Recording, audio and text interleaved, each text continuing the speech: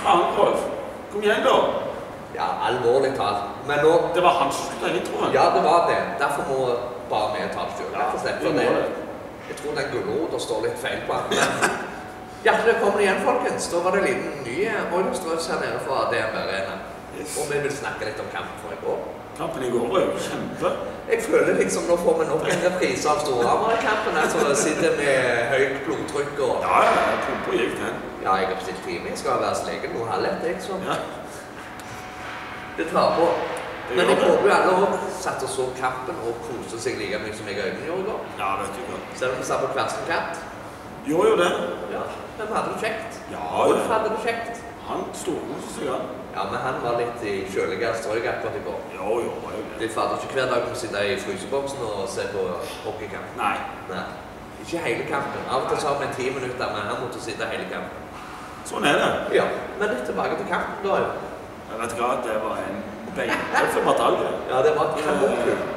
Men altså, hvis her, første perioden så er- virker det jo så Ja, dette tar jo over. De kjører over, de kjører over. Ja, men Asker kom pike det hardt på slutt. Ja, altså ikke bare på slutten. Jeg syns allerede de var Jeg følte de kom til å komme ganske godt ut i annen. Ja, Men allikevel, da følte jeg Oilers var Med altså, kontroll. Ja, jeg følte det var Oilers hadde en stålkontroll i kamp. Altså, ja, sånn som vi snakket om Storhamar-kampen, vi roste jo den opp i skyene. Men helt ærlig så syns jeg faktisk laget presterte enda bedre i går. Borte. Jo det. Altså, de fikk en i trynet, og de var jo rett opp med en gang. Ja. Det var jo ikke lenge etter at eh, de gikk opp i ledelsen igjen. Nei, altså de, med en gang de fikk den der 1-1, eller de skåret 1-1, så var det jo rett på igjen. Så Ja. satt vi der det skulle. Ja, Og det 2-1 sto seg jo lenge. ja de gjorde det. Eh, men når de tar keeper, så det er jo gamble. Du vet jo. Ja, altså, den, den kom jo. Og vi vet jo, vi som har sett mange år, at får det. Får han pucken i den situasjonen keeper er ute, så vet vi nesten Ja. at det er mål. Men det, altså, det var jo ikke bare. Det Nei, det var jo-. Det var en tøff kamp fra bunns bunn til slutt. Og for en nøytral seer så må det jo være helt fantastisk å kose seg med det, den. det var jo kjempekamp. Ja, så, så, sant du ikke liker spydkast.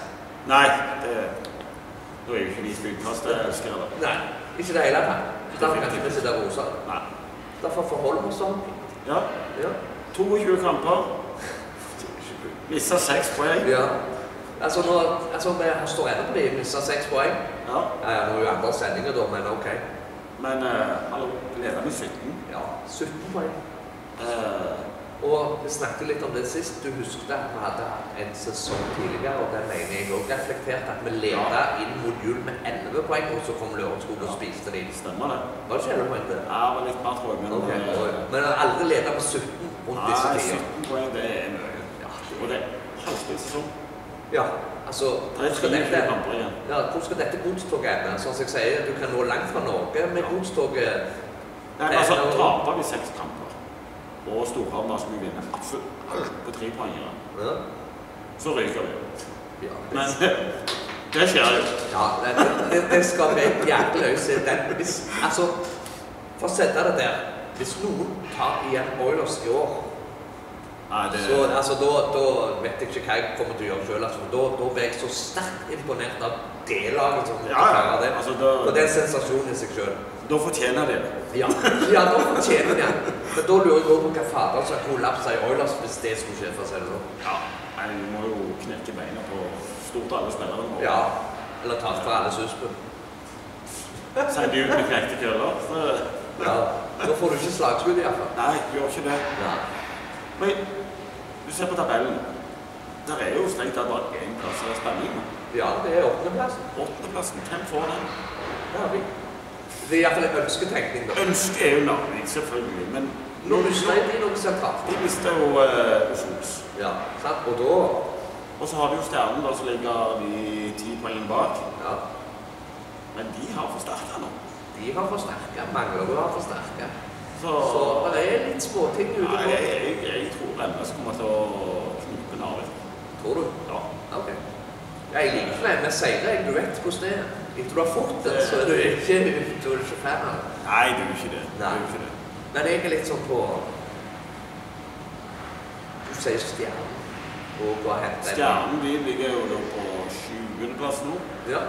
Men hvis du ser på stjernene, så jeg synes det er så varierende det de holder på med. Plutselig så spiller de en skamla kamp, og så kommer kampen etterpå. Ja, men det har jo litt med humøret til O'Brien å gjøre. Du mener det? Du ser jo det, plutselig så får jo han eh, Ja. totalt jernteppe, og så sitter jo han i boksen. Da Ja. ryker han jo på med en gang. Vet du hva? Vi trenger ikke vente lenge til for å se det. Nei, Det står vel og banker på døra til i morgen. de kommer i morgen. Ja, Det sant. blir bra, det. Ja, det blir dritkult. Husk det, folkens. Stjernen i morgen. Klokken seks. Hæ? Ja, husker jeg rette klokkeslett òg. Ja, klokken seks Ja, seks i morgen. Ja. Ja, og så skal vi ta det på den rette måten, og så blir det 18.00. 18.00. Så er det Stjernen Oilers, og vi skal snakke litt om det. Og Det er vel Oilers Stjernen, men det, Ja, Oilers det er Stjernen. Ja, Ja, ja, ja. Jeg tenker ikke å sende folk opp til Fredrikstad. Nei, nei, Ja. nei. Men tilbake til kampen i går. Ja. Jeg syns Oilers-spillerne var veldig dyktige med å ta ut eh, diverse sentrale spillere, sånn som Henrik Ødegaard f.eks. ja. Han fikk mye ulike Ja, han gjorde det. Og så du mer til han snakket? La du merke til, noe Ødegaard gjorde etter tre harde taklinger i første? Han var litt forsiktig og trakk seg en del. Han var veldig forsiktig. Ja. Og det har en nøkkel. Ja, men det er en nøkkel til. Ja, Og det det er jo Terje Kåsastuen. Ja. Du så jo hva som skjedde i tredje. Tre utvisninger hadde han på kort tid i tredje periode. Ja, jeg så det. Men han ble jo så forbanna. Men som jeg har sagt, gåsehål er gåsehål. Ja, det er jo Ja. Men Stjernen i morgen Vi må begynne å tenke litt på den. Ja. Vi, vi, ikke, vi kan ikke snakke om hvem som ikke har gått. Nei. Men eh, Men vi kan jo komme med tips, da. Og er, er det meg du hiver? Ja, ja, ja, Siden du hadde 5-1 sist. Ja. Stjernen i morgen mot Oilers. Tøff i trynet. 7-1. Ja. Jeg, jeg tror ikke jeg tar så mye. Jeg tar uh, fire. Da har vi en avtale på det. Dere folk kan sitte hjemme og tipse for dere sjøl. Men med det så snakkes vi fra Oilers-Trosten en annen dag. Ha en riktig god dag videre. Ha det bra.